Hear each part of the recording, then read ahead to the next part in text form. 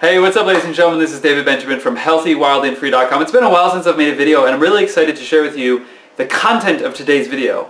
And the topic is how to get more probiotics in your diet without having to ferment vegetables and doing all the work or without buying sauerkraut, kimchi, fer fermented pickled beets at the store. It's the simplest, fastest, and most cost-effective way to get more probiotics in your diet on a day-to-day -day basis and it essentially extends the shelf life of your current probiotics. So this is exactly what I do.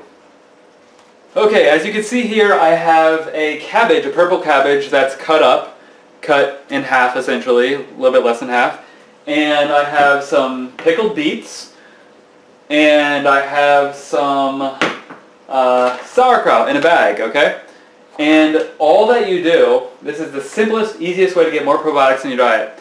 Essentially pickled beets or sauerkraut, doesn't really matter what it is, uh, or you could even do this with like kimchi or fermented vegetables as a whole, is you simply cut up any vegetable, so it could be in this case uh, purple cabbage because cabbage is typical for sauerkraut, it could be carrots, uh, anything that is fermentable, any vegetable that is fermentable, all you do is cut that up, chop it up a bit like this, and simply when you're pickled beets or sauerkraut is low, simply open that up, take a little bit, and throw it in the bag. Or if you have pickled beets in the jar or bag, open it up and throw it in like that. Now, it's literally that easy. Now, you're probably asking and wondering, David, how does that work? Well, the fermentation has already started with pickled beets. So in this pickled beets, there's already, the water is fermented and there's already active cultures in that water.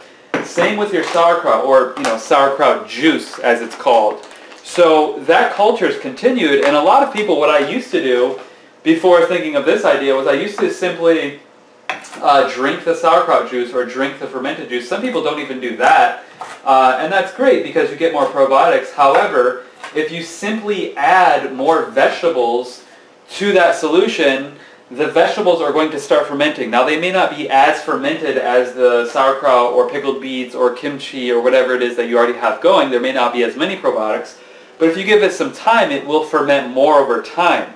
So that is the simplest, easiest, fastest, most cost-effective way by far to get more probiotics in your diet and to extend essentially the shelf life of your sauerkraut, your pickled beets, your kimchi, your fermented vegetables. Highly recommend checking it out, trying it out. It's very easy and uh, it just allows you to keep your probiotic culture going and lasting longer. I hope you enjoyed this video. Uh, if you want to learn more about health and wellness and about the supplements that I utilize, click the link below to get a free copy of Your Supplements Suck. I've spent, that's really zoomed in, I've spent literally tens of thousands of dollars on supplements in my life and what I've learned is that there's a huge range of quality in supplements so I compiled a 33-page PDF report to educate you on which supplements are worth avoiding and which supplements are worth taking. And that supplement is available for free download below this video, so check that out. Hope this tip was enjoyable and beneficial for your health and wellness. I'll see you in the next video. Have a great day. Bye.